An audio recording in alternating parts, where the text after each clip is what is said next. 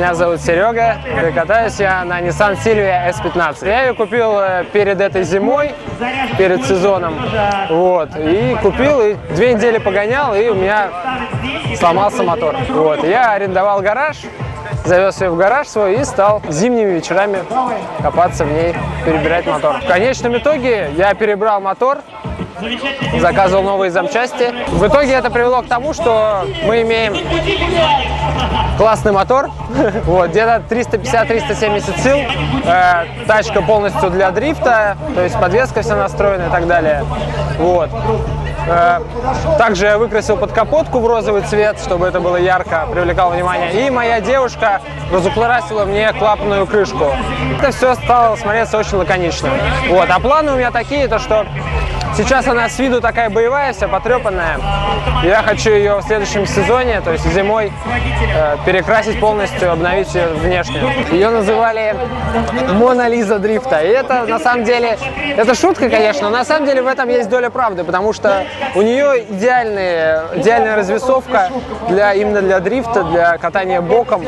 Вот, и если человек, как я, начинает с такой машины, ему легче, это как некий чит. Вот.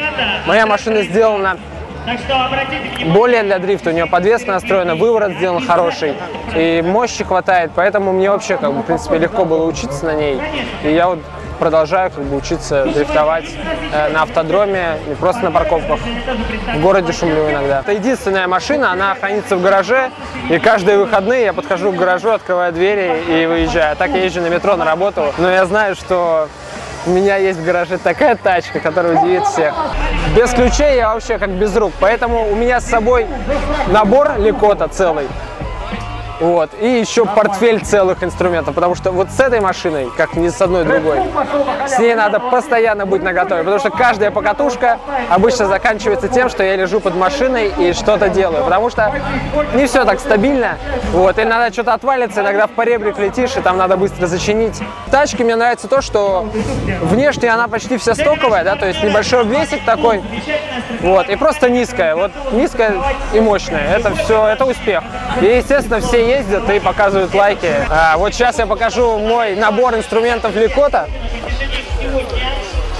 Вот он. Я, видишь, не врал вам. Он очень боевой, так же, как моя машина. То есть он был под дождем, он был, не знаю, где-то в грязи валялся, я там все собирал. Вот. В принципе, инструмент хороший, мне нравится.